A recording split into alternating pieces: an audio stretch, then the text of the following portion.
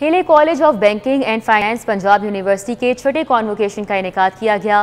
BBA degree की सात positions में से छह तालिबात ले उड़ी। कॉन्वोकेशन में 217 तलबा तालिबात में डिग्रियाँ और शील्स तकसीम की गईं। पीयूसी होटल में मुनदा कॉन्वोकेशन के मेहमान खसूसी pro vice chancellor doctor Mazhar Saleem थे। कॉन्वोकेशन में Hailey college of banking and finance के डीन और principal professor Mubashar Munawar registrar doctor Khalid Mahmood, controller Abdul Rauf समेत मुख्तलिफ़ डीन्स इस और तलबा की बड़ी तादाद ने शिरकत की। मेहमान खसूसी प्रोफेसर डॉक्टर सलीम मजहर का कहना था कि तलबा तलबात डिग्रियों के हसूल के बाद रोशन मुस्तबिल में कदम रख रहे हैं।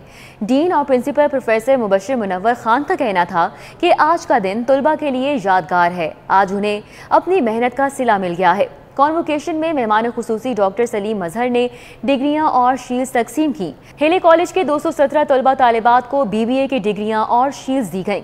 कॉन्वोकेशन में कुल सात पोजिशन में से छह लड़कियाँ ले उड़ी।